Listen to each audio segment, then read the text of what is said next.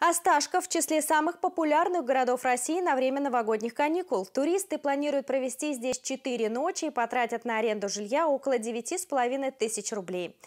Список был составлен на основании данных оплаченных броней отелей, квартир и домов туристов в городах на озерах на период с 30 декабря 2019 по 8 января 2020 года. Селигер занял четвертое место в рейтинге самых популярных озер для зимнего отдыха. В первую тройку вошли озеро Банное, также Переславь-Залесский и Приозерск.